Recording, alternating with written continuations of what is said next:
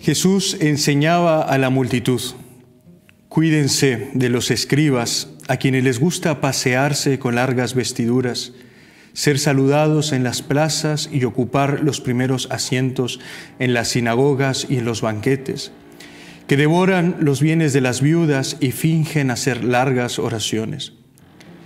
Estos serán juzgados con más severidad. Jesús se sentó frente a la sala del tesoro del templo y miraba cómo la gente depositaba su limosna.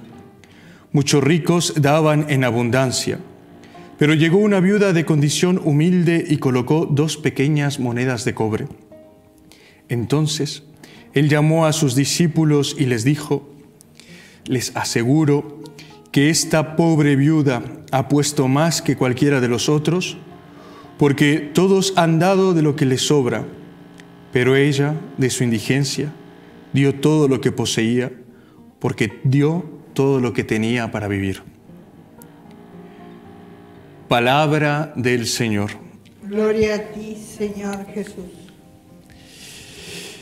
Esta pobre viuda ha puesto más que cualquier otro.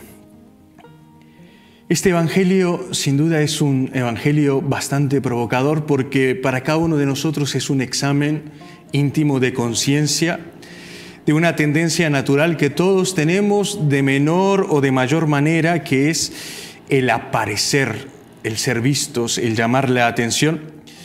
Y Jesús pone su atención en aquello que a lo mejor nadie se había dado cuenta, en la viuda, pero al mismo tiempo ante la situación de humildad de esta mujer que era viuda, que por lo tanto no tenía un sustento material fijo, no tenía un esposo, un equipo con el cual trabajar en conjunto, es decir, una mujer vulnerable, este Jesús se da cuenta que es la que ha dado todo en contraposición a aquellos que todo lo tenían.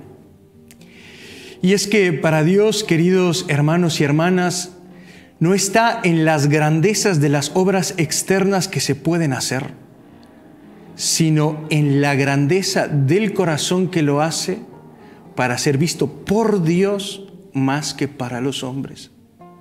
Porque hay cosas que los hombres ven y alaban que para Dios no son plausibles, y hay cosas que los hombres no ven, pero que para Dios son un acto de gloria más grande que no puede tener cálculo alguno. Y vaya misterio este, queridos hermanos y hermanas, que la mujer más pobre fue la que puso la ofrenda más rica delante de Dios. Y no era porque fueran dos monedas, podrían haber sido cien, podrían haber sido mil o podría haber sido una. Lo maravilloso de Dios es de que ve las intenciones del corazón del hombre y no es la grandeza humana del acto, sino con el corazón con el que se hace. Santa Teresita del Niño Jesús decía que a Dios le da más gloria levantar un papel, que un alma pueda levantar un papel del suelo unido a los méritos infinitos de Jesucristo, es decir, hacerlo por amor a Dios, que construir toda una ciudad solo para la vanagloria. Y es este el examen de conciencia, queridos hermanos. ¿Hago esto por Dios o lo hago para ser visto? Si lo hago para ser visto, ya tengo la paga.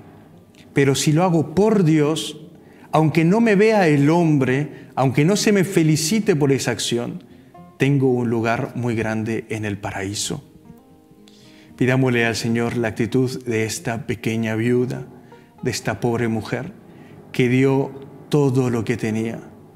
Y pidámosle a este Dios que es bueno, que nos ayude a dar aún lo poco que tengamos, porque nadie es lo suficientemente pobre que no pueda dar y lo suficientemente rico que se le pueda agotar la riqueza. Pidámosle a la Santísima Virgen, ella que dio todo, dio a su Hijo, que nos enseñe a dar todo en esta vida para darle gloria a Dios.